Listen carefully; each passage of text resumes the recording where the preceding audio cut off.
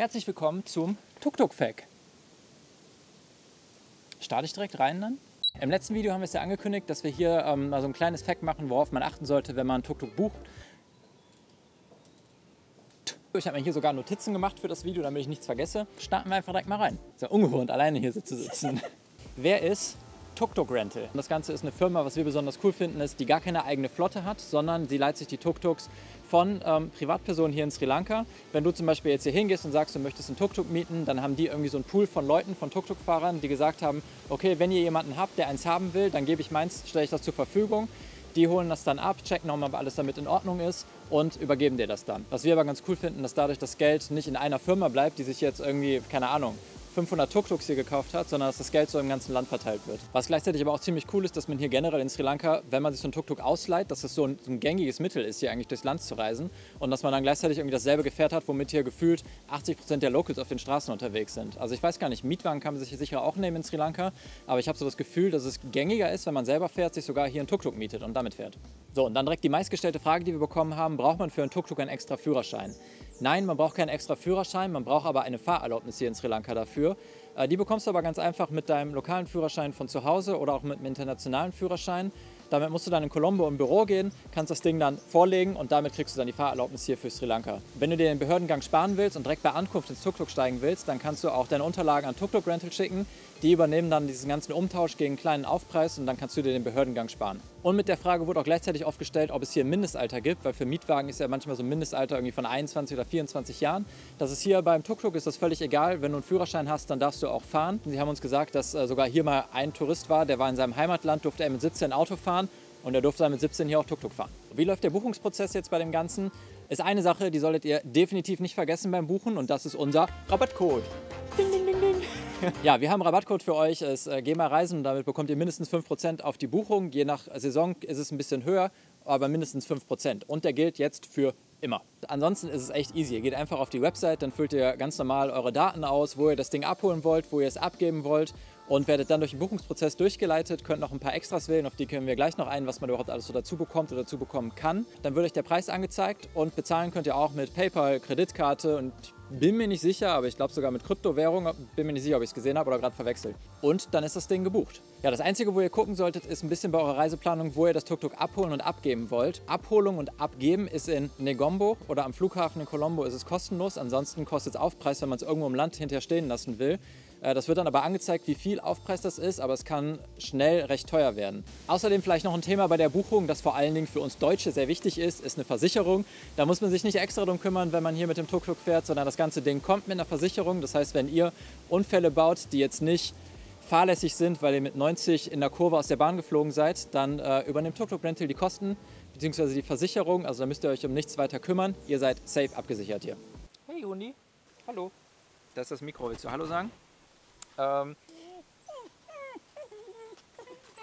ja. Wo kommt das Gepäck hin?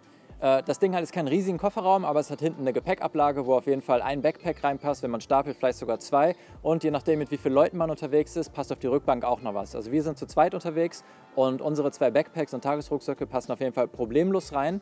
Und es würde sogar vielleicht nicht ganz bequem, aber noch eine dritte Person Platz finden, wenn sie da sitzt. Was mache ich, wenn es regnet? Ja, das Tuk-Tuk ist zwar gerade an den Seiten, ist es offen, wie man es jetzt gerade sieht, aber wenn es regnet, dann kann man rechts und links kann man so Planen drunter machen, die kann man noch festmachen und dass man selbst für den Fahrer noch so kleine Aussparungen für den Spiegel hat und auch bei Regen fahren kann. Vorne ist sogar ein Scheibenwischer, der hin und her geht. Das Einzige ist, wenn es jetzt so richtig monsunartig schüttet und so, dann ist es vielleicht besser ranzufahren und das Ding, den Regen kurz abzuwarten. Aber ansonsten ist auch regenfest. Wie funktioniert die Navigation? Ja, das, äh, so ein Tuk-Tuk hat jetzt kein eingebautes Navi oder CarPlay vorne mit drin. Was es aber gibt, äh, ist eine Handyhalterung und ein USB-Ladegerät, dass man das Handy vorne vor sein Lenkrad vorne dran klemmen kann und dann einfach mit ähm, wie heißt denn, Google Maps oder Maps.me navigieren kann und gleichzeitig auch das Handy aufladen kann. Kann ich auch mein Surfboard damit transportieren? Äh, ja, es gibt sogar eine Surfboard-Halterung, die man sich, glaube ich, für 1 Euro am Tag dazu buchen kann, dass die dann direkt oben mit aufs Dach drauf kommt und dann kannst du auch durch ganz Sri Lanka dein Surfboard hin und her transportieren. Ich glaube, das Limit ist sogar bei drei Surfboards darf man, glaube ich, hier transportieren auf dem Ding, aber musst du selber nochmal gucken, wenn du hier mit so einem Ding unterwegs bist. Wie ist das mit Anschnallgurten oder einem Kindersitz? Äh, Anschnallgurte gibt es keine im Tuk-Tuk. Ich weiß auch nicht, wie da so die Differenz gemacht wird zwischen Moped und Auto, weil Auto ja Anschnallgurt, Moped nein und das Ding ist ja irgendwie so dazwischen, aber gibt es nicht Anschnallgurte. Was man aber dazu buchen kann, ist ein Kindersitz. Den kann man dann hinten auf der Rückbank befestigen. Wie das dann genau aussieht, müsst ihr vielleicht nochmal auf der Website gucken, wenn das in Frage kommt oder da nochmal Rücksprache halten, was das für ein Kindersitz ist im Detail. Aber es auf jeden Fall gibt es die Möglichkeit, so ein Ding dazu zu buchen. Ja, das ist eine Frage, die hat jetzt nicht zwingend was mit der Ausstattung von dem Tuk-Tuk zu tun, aber irgendwie doch weil es ein Ausstattungsding ist, was man dazu buchen kann und das ist der Transfer von dem Tuk-Tuk. Wenn du nämlich Bock hast, von Candy nach Ella mit dem Zug zu fahren oder zwischendurch, der Hund ist wieder da, ähm, kleinere Strecken mit dem Zug fahren willst, dann gibt es den Service von denen, dass sie ähm, das Tuk-Tuk für dich sozusagen überführen. Du kannst dann irgendwo, leck mich die ganze Zeit ab, ähm, da kommt der nächste. Du kannst dann einfach Bescheid sagen, okay, hey, ich bin jetzt gerade in Ella, ich möchte morgen, ja wahrscheinlich ein bisschen weiter im Voraus Bescheid sagen, ich möchte dann und dann nach Candy mit dem Zug fahren. Und dann kommt jemand, während du im Zug bist, fährt er mit dem Tuk-Tuk die Strecke. Und ähm, ja, kannst dann einfach, wenn du da bist, kannst du wieder einsteigen. Was mache ich, wenn ich eine Panne habe? Äh, ja, das Tuk-Tuk hat drei Reifen und es kommt mit einem Ersatzreifen. Und deswegen, wenn du irgendwie mal einen Platten hast, dann kannst du das Ding einfach wechseln beziehungsweise dir irgendwo helfen lassen. Also es gibt ja echt im ganzen Land gibt es überall Werkstätten und Tuk-Tuk-Werkstätten oder auch Leute, die kennen sich so mit Tuk-Tuks hier aus, weil fast jeder so ein, so ein Ding gefühlt hier hat. Und deswegen wirst du da auch schnell Hilfe finden, wenn du wirklich mal ein Problem hast. Und ansonsten ähm, ist auch der Support von Tuk-Tuk Rental ist immer erreichbar über die WhatsApp-Gruppe oder die WhatsApp-Nummer. Und da wirst du auf jeden Fall nicht allein gelassen auf der Straße. Wie schnell fährt so ein Tuk-Tuk? So ein Tuk-Tuk keine Ahnung, ich weiß nicht, wie schnell das fährt, weil Maximalgeschwindigkeit hier ist 40, deswegen solltest du auch nicht viel schneller als 40 fahren. Und äh, haben wir natürlich bisher auch nicht gemacht und deswegen kann ich nicht sagen, wie schnell so ein Tuk-Tuk fährt. Auf jeden Fall, es würde schneller fahren als 40. Dadurch, dass die Geschwindigkeit so aber ist, vielleicht aber schon mal die Info vorab, dass man für Strecken, die jetzt irgendwie 100 Kilometer so weit weg sind, schon mal zwei bis drei Stunden einplanen sollte, wenn man die Strecke fährt. Wie weit kommt man mit einem vollen Tank, mit einem Tuk-Tuk? Ähm, uns wurde gesagt, ungefähr 150 Kilometer. Also, also klar, wenn ihr in den Bergen unterwegs seid, dann ist die Strecke vielleicht ein bisschen kürzer, aber so um die 100 bis 150 Kilometer solltet ihr mit einer Tankfüllung kommen. Ist es schwer, so ein Tuk-Tuk zu fahren? Ähm, nee, eigentlich nicht. Also am Anfang ist es halt mega ungewohnt, weil das äh, Tuk-Tuk hat keine Automatik. Das heißt, du musst selber schalten. Das macht man vorne ähm, am Lenkrad, hat man sozusagen links, hat man dann seine Kupplung, was sonst wie so eine Bremse am Fahrrad ist. Und damit schaltet man auch durch die Gänge. Und rechts gibt man Gas wie bei so einem Moped und die Bremse ist beim Fuß wie mit dem Auto. Also es ist einfach so kognitiv so ein paar Sachen, die man für sich im Kopf ein bisschen anders umsortieren muss. Aber man bekommt auch eine Fahrstunde, wenn man das Tuk-Tuk abholt. Also es ist da ungefähr eine Stunde, wo dann jemand mit einem um das Tuk-Tuk rumgeht, einmal sagt, wo man was findet, den Ersatzreifen. Dann ähm, setzt er sich auch mit einem hinten ins Tuk-Tuk rein, fährt mit einem ein bisschen rum, sagt, ähm, erklärt einem, wie man schaltet, wie man so einen U-Turn mit dem Tuk-Tuk macht. Und danach auf jeden Fall geht man mit dem Gefühl raus, dass man auf jeden Fall ansatzweise weiß, wie das Ding fährt. Und dann am Ende ist es einfach, man muss es ausprobieren. Wenn du bisher nur Automatik gefahren bist, dann wird es auf jeden Fall ein kleines Abenteuer, aber es ist jetzt auch nicht unmachbar. Dann lernst du halt, wie man schaltet hier. Ja, ist auch kein Ding. Das würde mich mal interessieren übrigens. Wie ist das, wenn man einen Führerschein heutzutage macht? Lernt man noch schalten? Was außerdem auch ganz cool ist, äh, von Tuk Tuk Rental gibt es auch so ein, wie so ein Mini-Video-Guide zu, wie fahre ich einen Tuk Tuk in Sri Lanka. Ähm, das verlinken wir mal hier unten drunter, auch das Video. Da wird man auch ein bisschen abgeholt. Ähm, es geht nicht direkt um, um eine Fahrstunde, aber generell so ein paar Infos zur, zu den Straßen in Sri Lanka, wie das alles abläuft. Ist der Verkehr schlimm hier? Ähm, pff, ist, glaube ich, Ansichtssache, ob man es schlimm findet oder nicht. Also ich ähm, ich glaube, der große Vorteil ist, dass wir schon relativ viel in Asien gereist sind, auch viel mit dem Moped unterwegs waren, auch auf sehr vollen Straßen und vollen Gegenden unterwegs waren, wie in Vietnam oder in anderen Ländern. Deswegen ist dieser Grundverkehr in Asien stresst mich halt nicht. Also ich weiß halt, dass das immer ein bisschen Gewusel irgendwo stattfindet. Wenn das jetzt die erste Asienreise ist, dann kann ich mir vorstellen, dass das am Anfang so ein bisschen ähm, bisschen Overload ist von den, von den Verkehrsmitteln, die alle so unterwegs sind und das rechts und links teilweise überholt wird. Aber es ist auch was, man gewöhnt sich da einfach dran. Also spätestens an Tag zwei wirst du, glaube ich, einfach Spaß haben.